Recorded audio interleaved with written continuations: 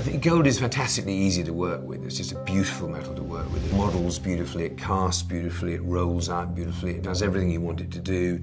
It has a, a, a real character to it. It has this sort of heft to it that just makes it appear to be important. It has all the properties that a craftsman could want, but it also has this extra property, which is this kind of romance, the idea of people have lived and died for it, the idea of El Dorado. And it's still one of those kind of incredibly romantic things. A very sexy thing, gold. It feels great.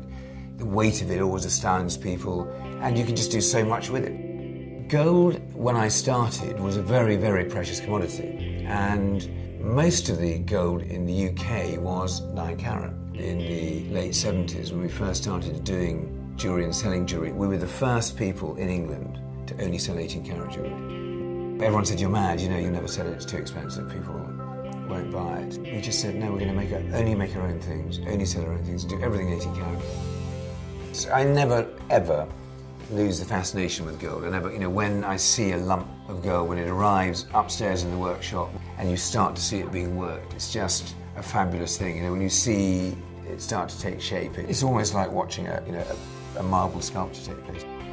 I'm a great believer in jewellery being incredibly sentimental and having lots of meanings and hidden meanings and being very talismanic. And so I like jewellery that does a lot of stuff, even if it looks very plain.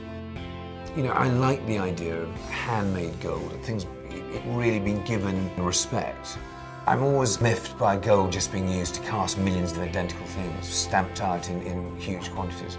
You know, I believe if you're using, you know, the, the, the, king of all metals, the emperor of all metals, whatever gold happens to be, that you should be using it to make really wonderful things. It's a limited supply of gold. You want to use it with great respect. I think the gold probably isn't given enough respect. Too many things are just pumped out in it. And I'd like to see it used more for really um, individual and unusual things.